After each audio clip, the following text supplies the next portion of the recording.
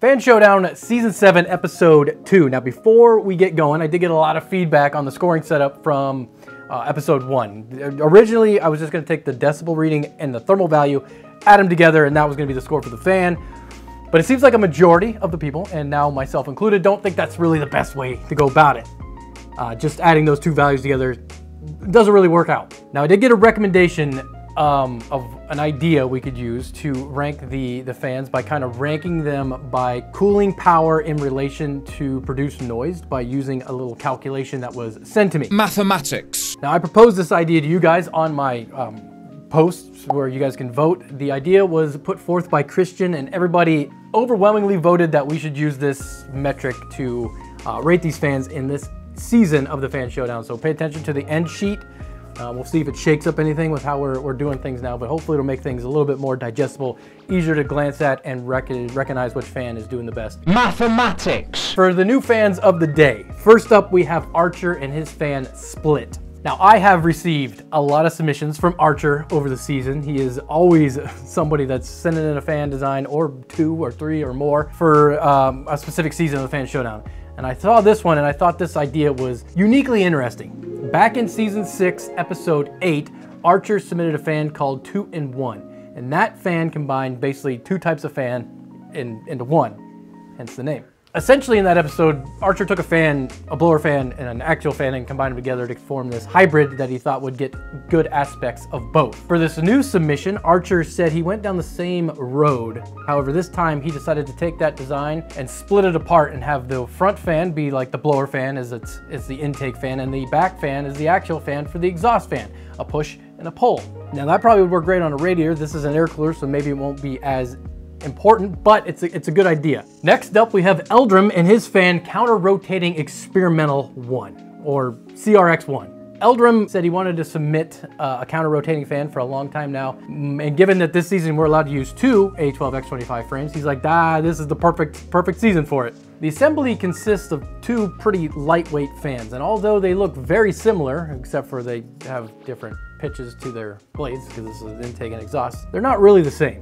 The first stage fan is a reverse fan with nine blades, and the second stage is a traditional fan, but with only eight blades. Eldrum said he did this hopefully to reduce noise, as the different blade counts will ensure that no one blade is aligned at any given time. And that's, to me, a pretty interesting idea, because everybody knows um, like a contra-rotating propeller, oh my god, that's impossible to do. A contra-rotating propeller on like an aircraft, they're very, very loud, and that's because all the blades are aligned and they pass over each other, creating a ton of noise. And the reason those systems are so loud is because of cyclic pressure pulses, which is caused by the blades aligning as they pass each other, creating a beat frequency effect. Now using a different blade count means that you can break up this harmonic alignment, which should make the fan seem a lot quieter. I don't think it's gonna be super quieter, but it's gonna help spread that dominant tone over a wider frequency range. In addition, Eldrum created a spacer to be placed between the two fans so they're not butt to butt, and that is hopefully gonna also reduce the, the noise output as well. And at the front of the fan, you got a big old velocity stack. We all know these guys, these big cones that you put on the front to help streamline the airflow going into the fan.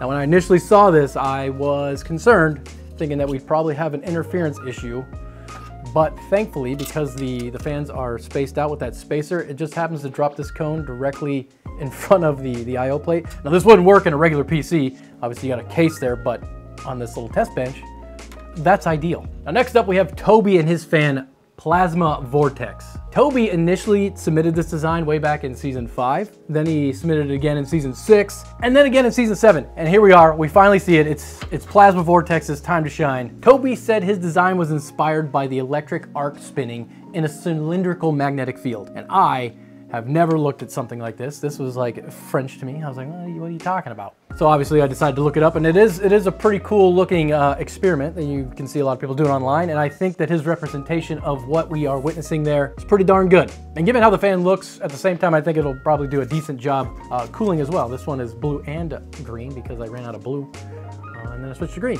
which makes it look even cooler, I think. Now, the last submission of the day is Iman and his fan Ideal. Now, this is one of those submissions where there was literally no information provided with this fan other than the, the fan itself. The only information Iman did provide with this fan is that it was created with looks about right engineering. So that's why I gave it the name Ideal. If this looks about right, I'm pretty sure the fan will be ideal for our current setup. In the sound testing, the split came in at 57.8 dBA.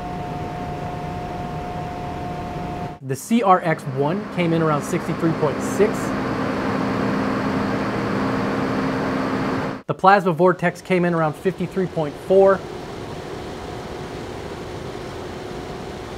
The Ideal came in around 55.9. Now, so far, as we expected, the CRX1 is very loud. Everybody knows the contra-rotating fans are pretty loud, but in this specific testing, it was a bit more dramatic than it kind of seems in, in the real world. This thing is essentially a giant horn, and I normally, well, I don't normally, I always measure uh, the sound of a fan from the fan disc to uh, the, the microphone I have, 100 millimeters. And given that this thing has this massive cone on it, it meant that the, the sensor for the, the, the, the microphone was kind of just like right in there and it was just blasting it with all the tones. I will say that it is quite loud when you're down there in line with the with the, the megaphone here, but when you're kind of off to the side, it, it does, it is perceived as a lot quieter. But either way, that's how we measure it, so pretty loud.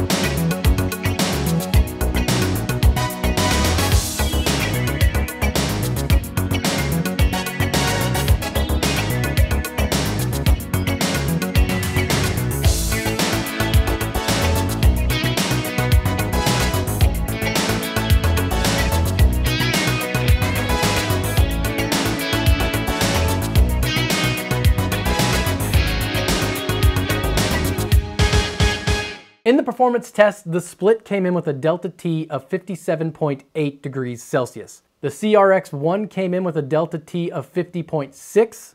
The Ideal came in at 53.1 and the Plasma Vortex came in at 51.9. And after running our new scoring calculations in the cooling power to noise relationship score situation. The Plasma Vortex finished first, the Ideal finished second, the CRX1 came in third, and the Split came in fourth, and overall they finished first, fifth, seventh, and eighth. And as you can see, although the, uh, the CRX1 did pretty darn good in our cooling test with all the air that it was able to smoosh through that, smoosh, push through that, uh, that uh, the, the fin stack, because it was so loud, it kicked it quite far down the list, which I think is pretty good. Everybody's always asked that we take into account uh, noise because noise means everything when you're building a PC. You want good cooling performance, but you don't want to just sit there and listen to a fan drone all day long. So I think this is a very interesting situation that we have set up. But as always, check my work, um, check the sheet, make sure everything looks good, make sure everything makes sense. And if you notice anything off or an error being made,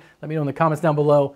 And if I see nothing, we'll just continue hammering towards the goalpost. And always, you know, if you want to get in on the action, you want to submit your own design, make sure to first get subscribed to the channel and then check the description down below. There's a lot of information and useful models you can use as references. Specifically, there is a PDF that shows you the critical dimensions you need to hit to make sure your fan fits on this frame. Plus, there's also a model of, well, a reference model of this cooler. So be advised that you also have an I.O. plate and a stick of RAM to avoid, but you'll have a cooler to make something fit on it if you want to do something crazy and then make sure to send me at least a .stl or a .stp to the fan showdown at gmail.com and we will see your fan in the next episode. Bye-bye.